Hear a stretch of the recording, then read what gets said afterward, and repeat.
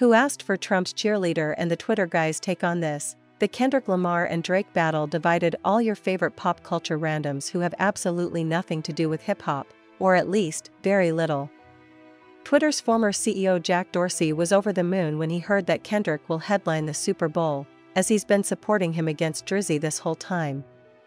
Adin Ross, a strong OVO ally, chose to clown Dorsey's recent tweet about the matter, big as the Super Bowl. The streamer was live when he theorized as to why Jack is so mad at the 6 9 god and mocked that he's no longer in charge of Twitter, sorry, X.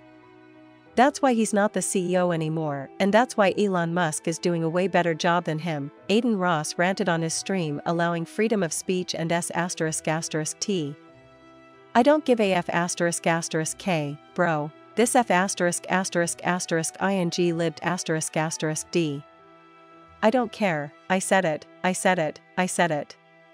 He banned Trump, and now Trump owns this app. This F asterisk asterisk asterisk ing Quillfest app. Yo, Elon Musk did what Jack couldn't do.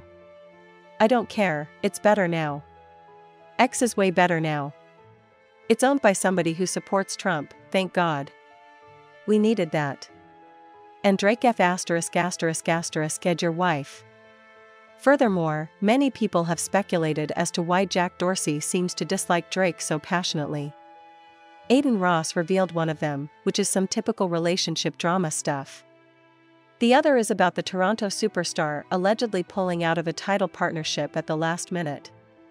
No matter what's actually true, though, Ross and many other OVO stands went full cuckoo with this Super Bowl announcement and with everyone else happy for Kendrick Lamar. It's just a tweet, man. Meanwhile, Adin Ross' loyalty to Drake is well documented. He recently previewed a collaboration between him and Lil Durk that left him satisfied. We'll see what other random comments and fights people choose to engage in with this whole Super Bowl business.